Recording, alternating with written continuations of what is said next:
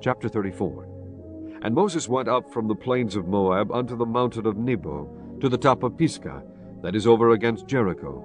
And the Lord showed him all the land of Gilead unto Dan, and all Naphtali, and the land of Ephraim and Manasseh, and all the land of Judah unto the utmost sea, and the south and the plain of the valley of Jericho, the city of palm trees, unto Zoar. The Lord said unto him, This is the land which I swear unto Abraham, unto Isaac, and unto Jacob, saying, I will give it unto thy seed.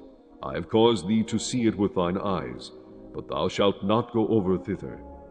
So Moses the servant of the Lord died there in the land of Moab, according to the word of the Lord.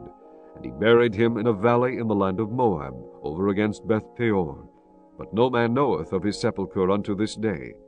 And Moses was an hundred and twenty years old when he died. His eye was not dim, nor his natural force abated. And the children of Israel wept for Moses in the plains of Moab thirty days, so the days of weeping and mourning for Moses were ended. And Joshua the son of Nun was full of the spirit of wisdom, for Moses had laid his hands upon him.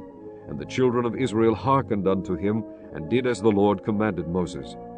And there arose not a prophet since in Israel like unto Moses, whom the Lord knew face to face, in all the signs and the wonders which the Lord sent him to do in the land of Egypt to Pharaoh, and to all his servants, and to all his land, and in all that mighty hand, and in all the great terror which Moses showed in the sight of all Israel.